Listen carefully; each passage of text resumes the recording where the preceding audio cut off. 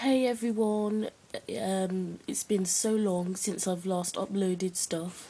My laptop has just like the driver or whatever it is is completely fucked up, so um, I can't um, get any internet on my laptop, so I'm having a hard time with that at the moment. I'm gonna try and sort it out, but in the meantime, I'm just gonna do like little short videos um, uploaded from my iPod.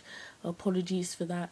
And um, as soon as I get my laptop sorted, um, I will put all of my new edited vlogs up and my main channel videos and stuff like that. So apologies, but just to give you a bit of an update, um, I started my massage course this week, this Monday, and it was really good. We learned how to do scalp and chest massage and um, it was just amazing. It was good meeting new people and everything. That was like just really good. So yeah, and also um, yeah, work's been okay this week. Hasn't been too stressful or anything.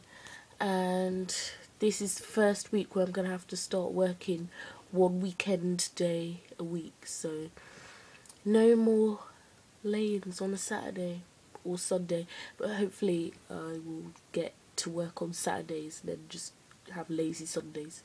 But yeah, um, not much else to tell really.